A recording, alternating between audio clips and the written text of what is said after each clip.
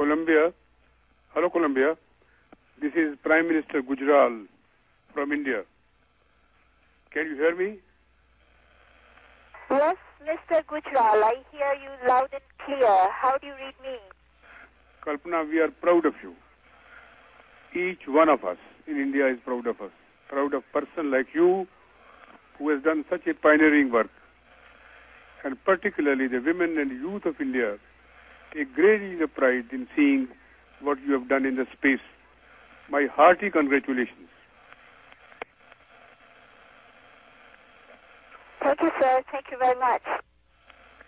You know, when I think of you, I think what a long journey you have covered from Karnal to space, long distance. And therefore, when I talk to you, I feel I'm talking to a person who is representing India in the space now. My all good wishes to you.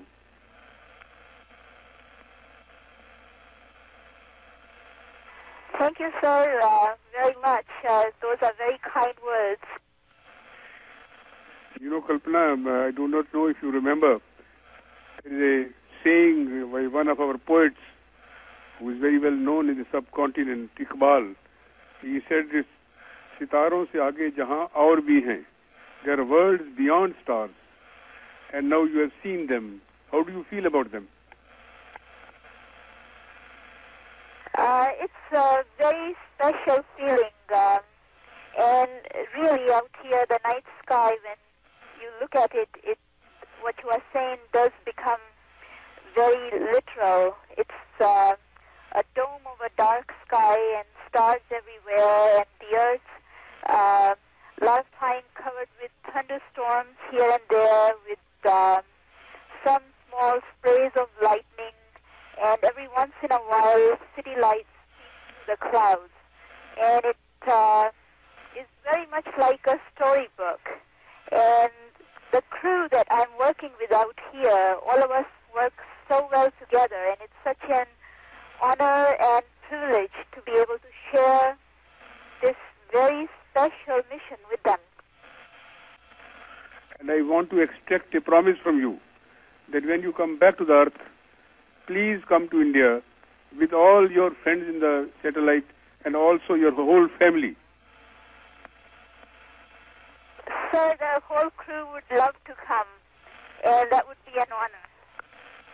you will be most welcome guest of the Indian people and the government.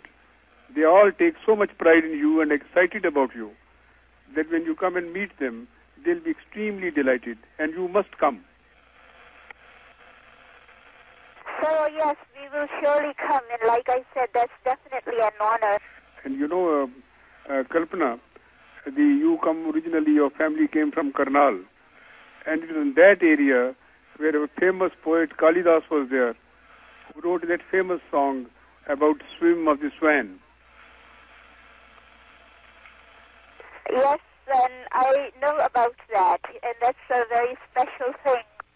And you are that swan now swimming in the space. That does sound good. And thank you very much. Once again, my feeling of thanks to you for all that you have performed. You have made all of us proud of you. Thank you, sir. Thank you very much. Uh, thank you for calling us on the orbiter. And if you would just take a second, a couple of days ago, we taped a view of uh, Himalayas from the orbiter, and I'll downlink it to you for a minute or so, and we can be talking while that's happening.